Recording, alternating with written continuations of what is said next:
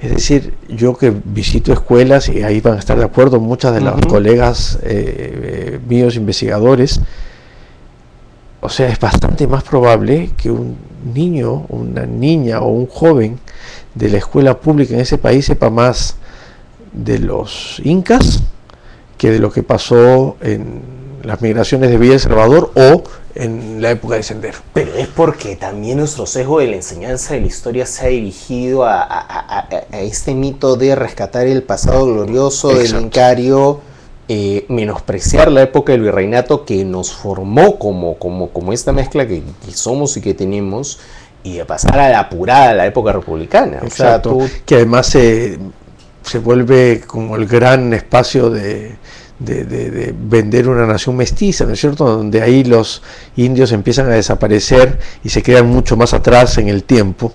Y hay un artículo fantástico de Cecilia Méndez que es esta de Incas, indios, no, indios no, es cierto? un artículo maravilloso. Que está muy claro, ¿no es cierto? Se invisibiliza todo el asunto indígena porque Claro, es, mejor tener pasado glorioso. Es mejor tener a Manco Capa o al propio Tupac Amaru segundo antes que hablar de la discusión de, lo que pasa en la zona rural. Por ejemplo, o es, más fácil hablar de las peleas libertarias que de las razones por las cuales este, no sé, pues Ero y, de la Puente Uceda, de la Puente Uceda se levantaron.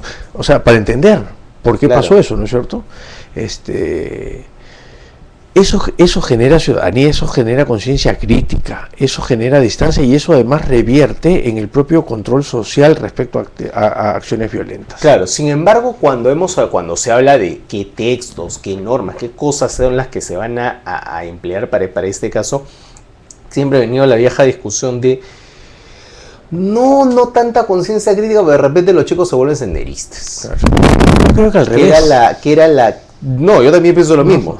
Que era la, la, la, la, la cuestión que alguna vez Meche Canilla discutió con unos textos que, claro, efectivamente tenían algunos errores este, pedagógicos, pero claro, que no eran prosenderistas para nada. Claro, la denuncia de Meche Cabanillas a Idel Wexler y a José Antonio Chang por los textos, ¿no? que se formó una comisión para evaluar, yo estuve en esa comisión, y lo que detectamos era que los libros tenían unas fallas pedagógicas, digamos, de últimas, ¿no?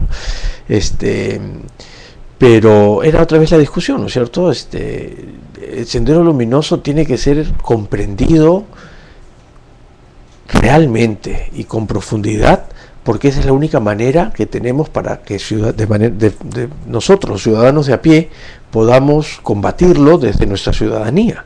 Y eso me lleva a un último tema, Ricardo, que es algo que, y vuelvo, y vuelvo a los textos de Carlos Iván de Gregori, está ahí presente en la educación peruana, que es esta suerte de sesgo autoritario en la educación, que es esta suerte de el maestro dicta eh, lo que dice Santa Palabra, no puede ser criticado.